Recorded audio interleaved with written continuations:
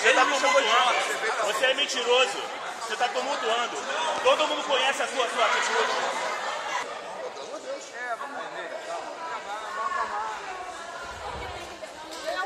O que, que acabou de acontecer aí? Cara, então, tava passando pra lá e chegou e me chamou de idiota. Eu falei que o idiota. Aí começou a discussão verbalmente, entendeu? O Carlão sempre se posiciona assim, parece um ditadorzinho. A gente não vai aceitar isso. Se for um fórum democrático, eu quero votar, a gente vai votar no setor. E conseguimos e a Guarda Municipal cedeu e a gente vai votar sim, porque isso é um fórum democrático. Ninguém pôde falar na plenária final.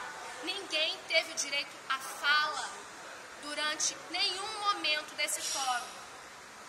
Quem queria falar foi simplesmente ignorado. Quem queria se expressar foi simplesmente ignorado. Ditadura! Agora, como assim?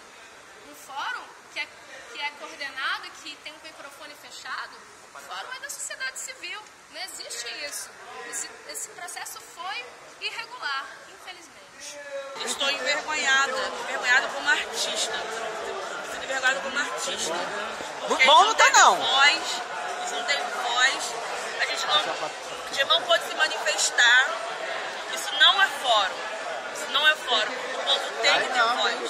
Gente da comissão organizadora que tinha que ser imparcial está pedindo voto para Cristiane. Nós temos o áudio, nós temos a gravação do ônibus chegando aqui. Essa votação está errada. Não está correto. A secretaria, ela colocou ônibus para buscar eleitor. Nós Dança. dados aqui, entendeu? Bus- Buscou, botou eleitor. É o Márcio. César Nós temos aqui, nós.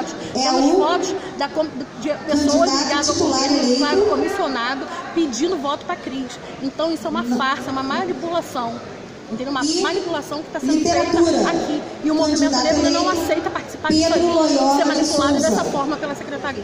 Porque sempre foi Isso é assim. uma desorganização, não tem uma ata, não tem nada. É, a gente- A gente de não favor. pela ata, não tá. Para que, por favor, os conselheiros para o, o, o trabalho de do governo negro e eu 2018-2020. não, de forma nenhuma, A gente quer eu parabenizar todos vocês.